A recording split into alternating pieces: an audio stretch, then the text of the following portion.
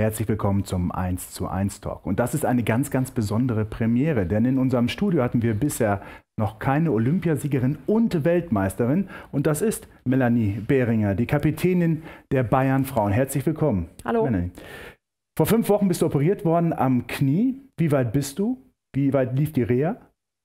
Also ich bin momentan noch in der Reha, ähm, fange jetzt die Woche wahrscheinlich schon einen Teil an mit der Mannschaft. Also ich bin ähm, super im Plan. Es lief alles sehr, sehr gut nach der OP. Ich hatte nie ein dickes Knie, hatte volle Beweglichkeit, also deshalb ähm, läuft wirklich alles richtig gut und ich bin auf einem richtig guten Weg. Dann wirst du zum Rückrundenaufstand, äh, Rückrundenstart gegen Essen aber fehlen. Ja, das wird noch ein bisschen eng bis zum Wochenende, aber ich sitze auf der Tribüne und drücke die Daumen. Genau, und die Kapitänin äh, übernimmt Verantwortung bei den FC Bayern Frauen. Deswegen ist sie auch so wichtig auf dem Feld. Und äh, wir stellen jetzt einmal Melanie Behringer vor. Sie ist das Herzstück der Bayern-Frauen. Melanie Behringer, 125 Spiele für den FC Bayern München, 31 Tore, eine Frau mit Power.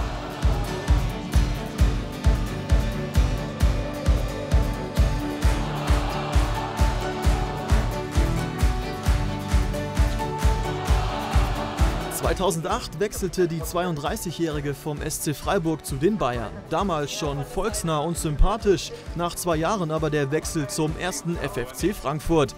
Vier Jahre in der Main-Metropole genügten, um 2014 wieder zu ihren Bayern zurückzukehren. Es war nicht nur eine Rückkehr in ihre alte Heimat, sondern auch der Startschuss für titelreiche Jahre mit den Bayern-Frauen. Als Kapitänin führte sie das Team von Trainer Thomas Wörle zu zwei deutschen Meisterschaften und reifte endgültig zur absoluten Führungsspielerin.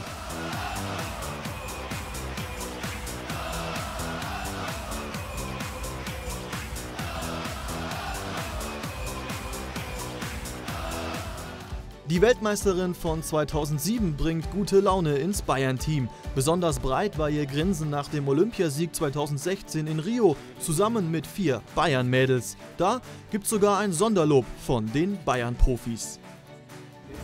Glückwunsch. Hi, danke. Du bist viel besser als Rafina.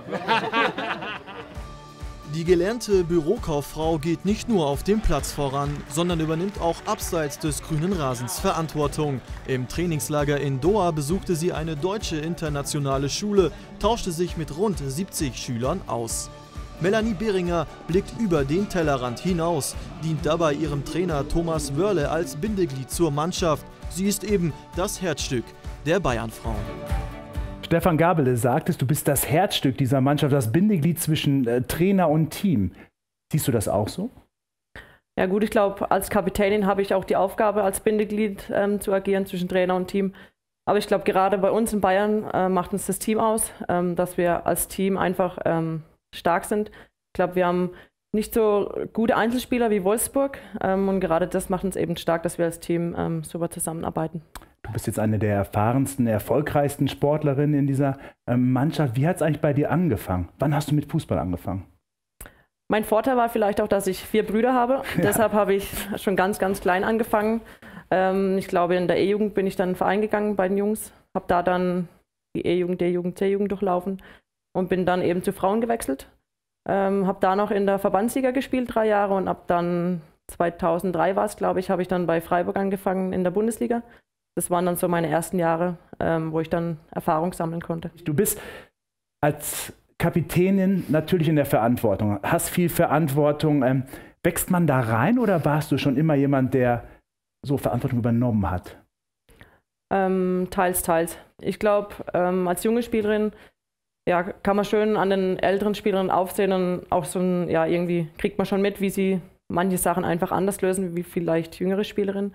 Ähm, deshalb glaube ich, wächst man da einfach in der Aufgabe. Und ja, als ich nach München gekommen bin, wurde ich dann Kapitänin und dann ist natürlich schon eine andere Aufgabe nochmal, als nur Spielerin zu sein.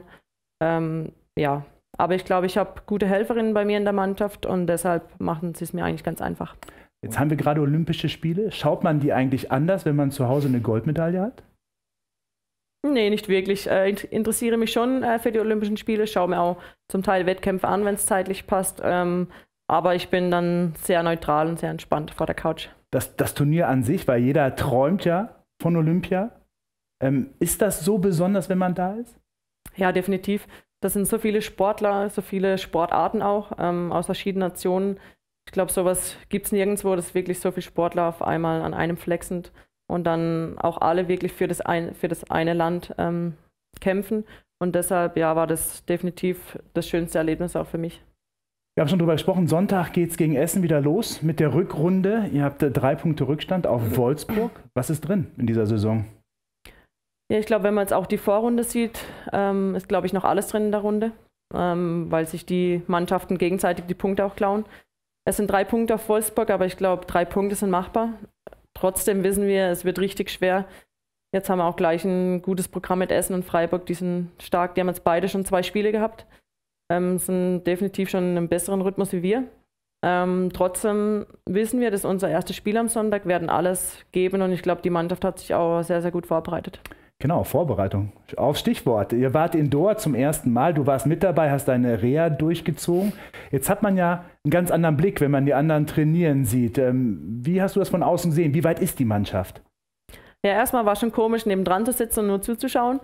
Ähm, aber trotzdem kann ich sagen, ähm, die haben es richtig gut gemacht. Die waren alle sehr, sehr motiviert dabei. Klar ist dann auch ähm, normal, dass nicht alles klappt am Anfang. Auch die neuen Spielerinnen mussten integriert werden. Aber ich glaube, am Ende vom Trainingslager konnte man wirklich sagen, wir sind äh, vorangekommen und deshalb bin ich absolut positiv gestimmt, dass am Sonntag ein Dreier rauskommt. Sehr gut. Äh, Doha, das Trainingslager an sich, wie hat das auf dich gewirkt? Ja, total super. Also das Trainingsgelände an sich ist Wahnsinn. Also sowas habe ich noch nie gesehen.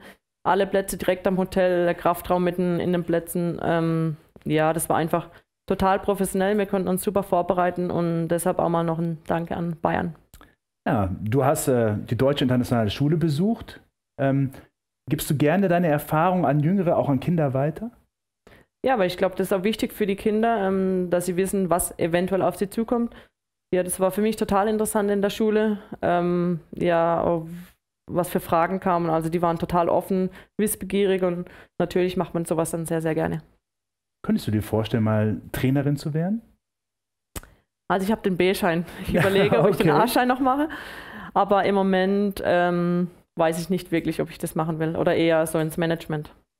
Management, auch eine schöne Angelegenheit. Dann in welche Richtung? Also schon irgendwie, wenn ich bei Bayern irgendwie im Frauenfußballbereich bleiben könnte, wäre schon schön. Aber ähm, das ist noch Zukunftsmusik. Ich möchte noch ein, zwei Jahre Fußball spielen und dann, ja, wenn es aber dann in die Richtung geht, wäre ich schon sehr, sehr froh. Genau, ein, zwei Jahre. Da kann man noch einige Titel gewinnen, Melanie. Ähm, setzt du dir irgendwelche Ziele? Sagst du, ich möchte diese Saison mindestens Platz zwei haben, damit wir für die Champions League qualifiziert sind? Oder wie machst du das? Also ich persönlich setze mir eigentlich immer die höchsten Ziele. Ich wollte dieses Jahr auch Meister werden, Pokalsieger und Champions League. Champions League ist leider schon weg, äh, unglücklicherweise, aber ich glaube, die anderen Ziele sind wirklich noch machbar. Ähm, und deshalb gehe ich so in die Rückrunde rein. Äh, maximales Ziel und ja, das wollen wir versuchen wenn schlussendlich dann der zweite Platz wird und wir uns wieder für die Champions League qualifizieren, ist, glaube ich, auch ein richtig gutes Ergebnis. Melanie, wir wünschen dir alles Gute dafür, dass du auch wieder schnell wieder auf dem Platz stehst, dein Team mitreißen kannst. Und dann hoffen wir natürlich auf gute Erfolge. Vielen Dank, Melanie Dankeschön. Behringer.